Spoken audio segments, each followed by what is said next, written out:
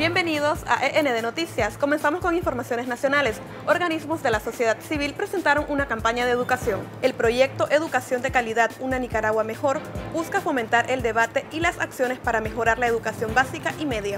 Se presentó un proyecto que permitirá transformar la basura plástica en diésel. Una empresa española presentó la iniciativa a la alcaldía de Managua con el fin de aprovechar los desechos de la ciudad. En internacionales, investigadores aseguran que el copiloto del avión de German Wims se estrelló voluntariamente. Andreas Lubis, de 28 años, se habría encerrado en la cabina y luego habría comenzado a descender el avión en medio de los Alpes franceses.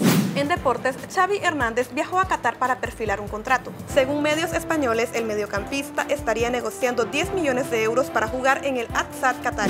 Y en fama, Rihanna dio a conocer su nueva canción utilizando la aplicación That Smash. La cantante publicó una parte de su nuevo single para que los fanáticos la doblaran. Para ampliar estas y otras noticias, visita el nuevodiario.com.ni y nuestras redes sociales.